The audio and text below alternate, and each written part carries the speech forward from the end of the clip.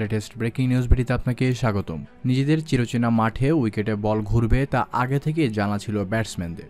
তারপরে এমন ব্যাটিং, মাত্র তিন রানে শেষ পাঁচ উইকেট হারিয়েছে বাংলাদেশ।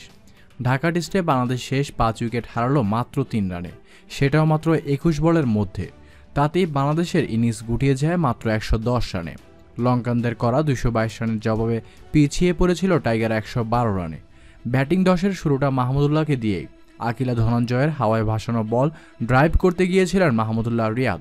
বিশাল টার্নে অফ স্ট্যাম্পের বাইরে থেকে বল আঘাত করে মিডল স্টাম্পে ব্যাট প্যাডের ফাঁক দিয়ে বল গিয়ে মাহমুদুল্লাহ বোল্ড হন সতেরো রানে। তার আগে ব্যাট থেকে আসা দ্বিতীয় চারে একশো স্পর্শ করেছিল বাংলাদেশ। তখন তার রান ছিল এগারো। রিভার সুইপ খেলতে গিয়ে স্লিপে জীবন পেয়েছিলেন মাহমুদুল্লাহ। তবু নিজের ইনিংসটি বড় করতে পারলেন না।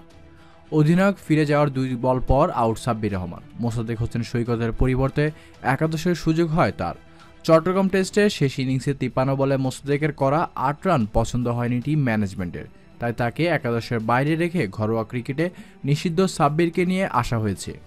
সেই সাব্বির মিডল স্টাম্পের বল তেরে খেলতে গিয়ে মিড উইকেটে ক্যাচ দেন শূন্য রানে। দিলওয়ান প্যারাডার করা পরের ওভারে বাংলাদেশ হারায়নি কোনো উইকেট। দীর্ঘদিন পর নামা আব্দুর রাজ্জাক ধনঞ্জয় তৃতীয় শিকারে পরিণত হয়ে গিয়েছেন।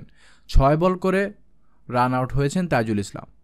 প্যারাডার বলে ডিফেন্স করতে এগিয়ে গিয়েছিলেন তাইজুল। শর্ট লেগ থেকে বল ধরে দ্রুত স্টাম্প ভেঙে দেন কুশল মেন্ডিস। পরের বলে ব্যাকফুটে খেলতে গিয়ে এলবিডাব্লিউ মুস্তাফিজুর রহমান।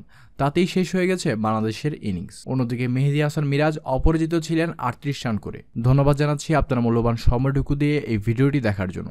ভালো লাগলে অবশ্যই লাইক কমেন্ট শেয়ার করবেন এবং প্রতিনিয়ত খেলার আপডেট পেতে আমাদের চ্যানেলটি এখনই সাবস্ক্রাইব করুন।